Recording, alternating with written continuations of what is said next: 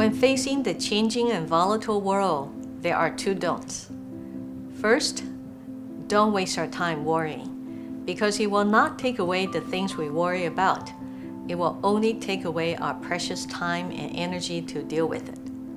Second, don't waste our time complaining, because it will shift the responsibility to others and put ourselves in denial mode, which will delay us from accepting the ownership to make timely self improvement to get ready for the changing world.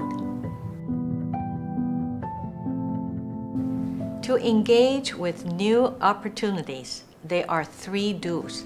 All start with A accept, analyze, and act. First, accept. Accept the facts and changes around us, especially new problems which create new unsatisfied needs.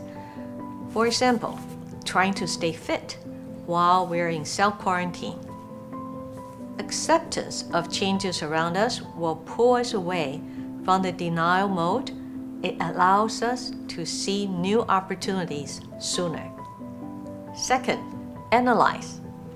Analyze our current skill sets and the opportunities created by the new unsatisfied needs in the marketplace. Third, act. Take ownership to act, to close that gap between our current skill sets and future opportunities so that we can be the one who sees the new opportunities when they arise. In HKUST MBA, we teach fundamental management principles and practices that can stand the changes of time. Transform, soar, and thrive with HKUST MBA.